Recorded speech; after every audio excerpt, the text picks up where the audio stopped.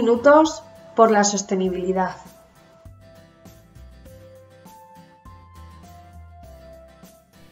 ¿Qué es la economía circular? ¿Cómo se vincula con la sostenibilidad? La economía circular no es una nueva idea, sí un nuevo concepto.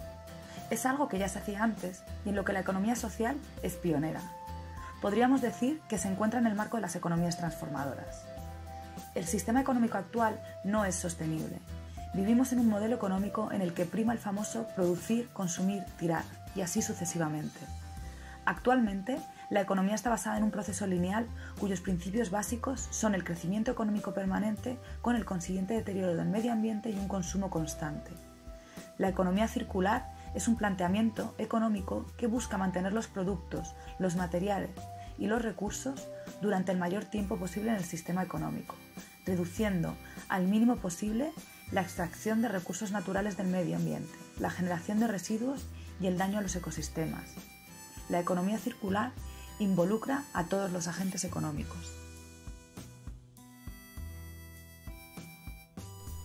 ¿Cuál es el objetivo de la economía circular?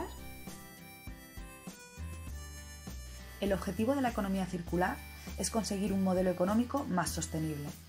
Para lograrlo, propone un modelo productivo que permita que el valor de los materiales y los recursos se mantengan en la economía durante el mayor tiempo posible y que durante sus procesos de elaboración y uso, al final de su vida útil, los residuos que se generen y las emisiones sean mínimas. Para ello hay que cambiarlo todo. En la fase de elección de las materias primas a utilizar, se utilizarán las materias primas recicladas. En la fase de diseño se pasa a hablar de codiseño. Se evitará la obsolescencia programada, todos los productos serán reparables y reutilizables, y al final de su vida útil sus componentes podrán ser separados y así reciclarse fácilmente. En la fase de la producción se reducen las emisiones en el propio proceso productivo y en la distribución. La vida útil es cada vez más amplia. Se fomenta lo que se conoce en la academia como servitización, es decir, la no propiedad de los productos, sino el consumo o uso colectivo de los mismos. Se van a fomentar las plataformas de segunda mano y de reventa. La fase final de tratamiento de los residuos también es importante y es la más conocida. Se reciclarán al máximo y estas materias primas volverán al inicio del proceso. Es por ello que hablamos del proceso circular. ¿A qué retos se enfrenta en la actualidad? En primer lugar, la economía circular tiene que crecer.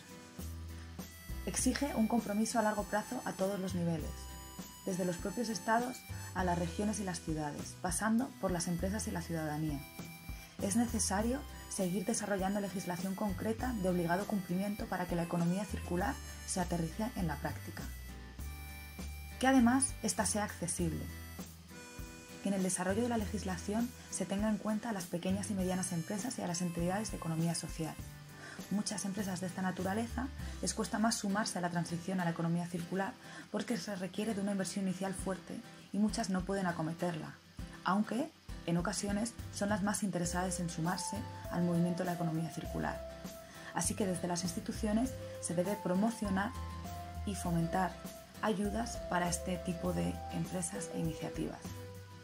Se deben incorporar incentivos, además como la llamada fiscalidad verde, o perfeccionar en la práctica la contratación pública responsable. Aún así, los sectores más críticos consideran que desde un punto de vista ambiental es una opción muy interesante, pero muchas veces no es suficiente. Habla muy poco de los límites de los recursos naturales y no se fomenta un cambio en las necesidades desde las, de las personas y en la publicidad. Por lo tanto, sería interesante que la economía circular atendiera estas críticas y mirara hacia esa dirección.